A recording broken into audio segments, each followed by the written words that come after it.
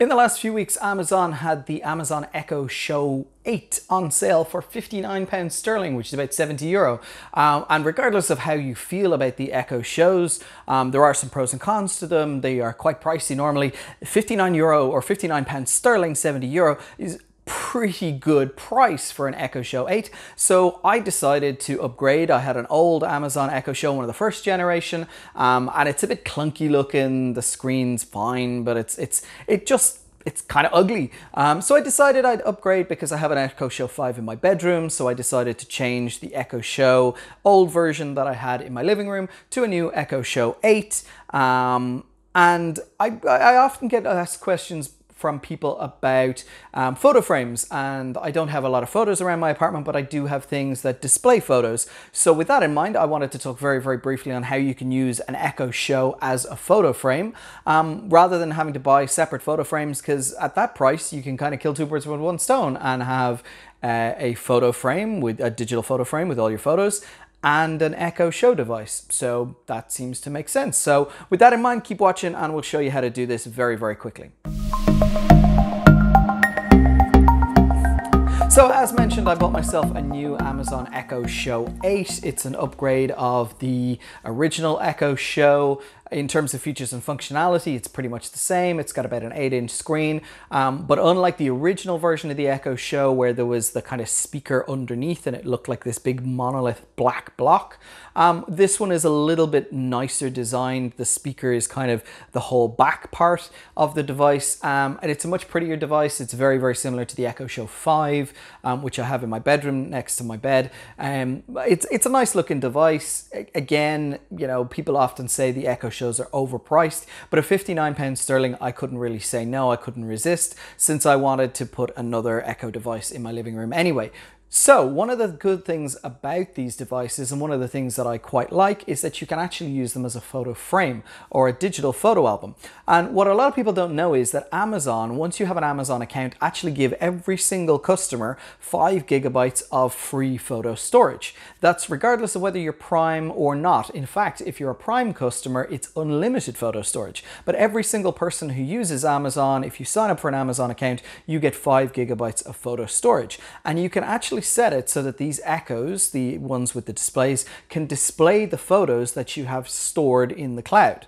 So there's a few ways you can do this. First and foremost, you can change the actual wallpaper on the Echo Show devices through the Amazon Alexa app. So you can go into the app, um, you can find the device that you want to edit. So in this case, it would be the Echo Show 8, um, and you can change the wallpaper. And what this does is you upload a photo to the app. This then sends it to the cloud and the Echo Show 8 or whatever Echo Show device will pull this back down and make it the wallpaper. What you can do though is you can actually create a folder on Amazon Photos online, store a whole load of photos in there and actually let the Echo rotate through these photos. And I think a lot of people miss that there is this free photo storage. So there's actually three ways you can do this. You can either log on, you can go to Amazon Photos, so whether you're .co.uk or .com, you can sign into your Amazon account under the Amazon photos and you can see the photos, you can store them into folders, um, you can upload new photos, etc. You can actually download an application for your PC as well and essentially this does the same thing. It just connects to the cloud, kind of similar to the Dropbox app um, and what you can do then is you can set it to sync folders from your PC up to the cloud. So what I've actually done is I have a folder on my PC called Echo and any photos that I put in there are synchronized to my Amazon photo account in the cloud and that's the folder that's displayed on my Echo shows.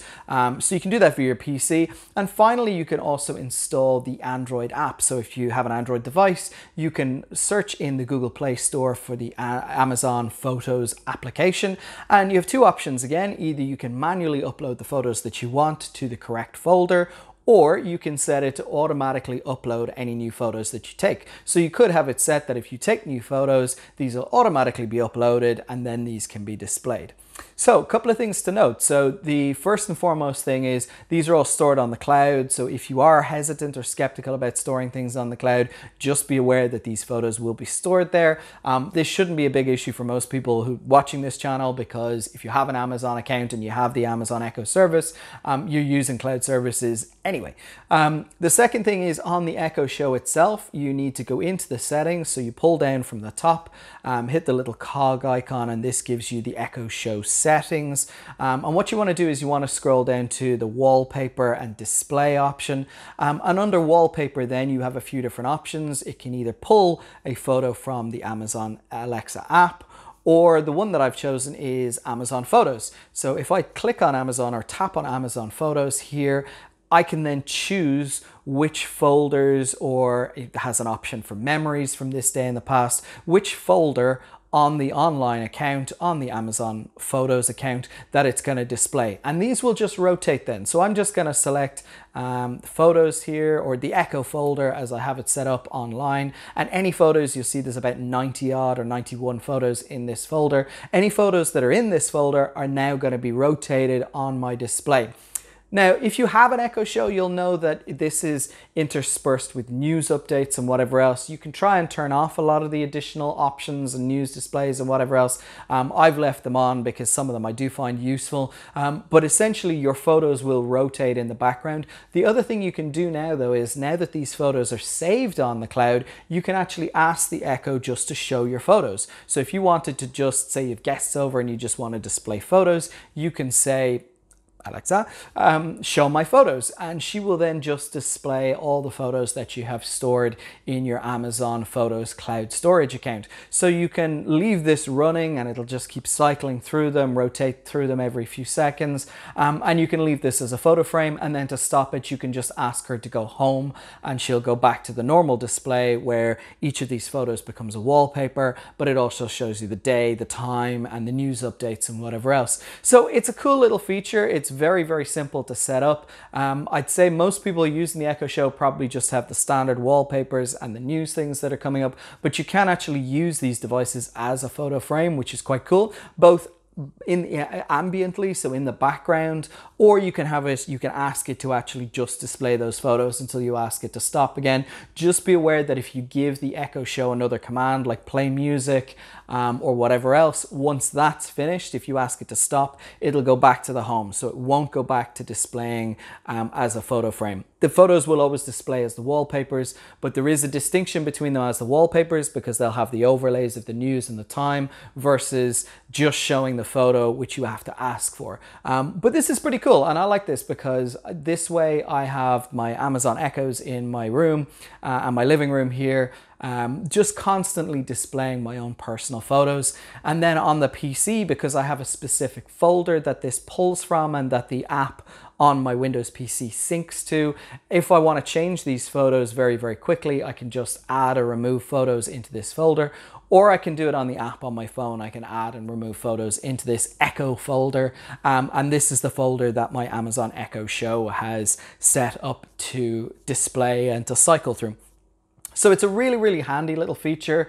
Um, and to be honest, at 59 pounds sterling, this is probably a better option than going off and getting a, a, you know a dedicated photo frame when you have all the Amazon Echo functions built in. Now, unless you specifically want to wall mount a um, a frame or a digital picture frame or whatever else, then in which case, you know, by all means, go off and, and get one. Um, and, and set it up the way it is. But for me, this is a better option because it's sitting on a nice like coffee table you know next to the sofa um, and looks really really cool when people come in. So look it's a very very simple thing to do. It's a useful feature and function and it kind of makes the echo shows a little bit more personal um, a little bit more kind of customized to who you are um, and, and just takes away from it just constantly displaying random backgrounds wallpapers um, and the news and whatever else is on. So you know it's a nice way of just kind of making them a little bit more part of the fixture of your home or your apartment or whatever else.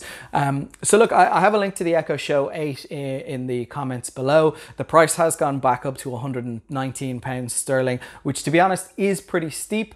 Um, considering you know they are just glorified tablets. In fairness, the sound quality on the Echo 8 is a lot better than the first generation Echo, um, but it's still quite a lot to pay for a device like this. Um, having said that, when they're on sale, and they do go on sale very frequently, so keep an eye out. When they're on sale, they're worth snapping up if you want to get something with a nice big 8 inch screen.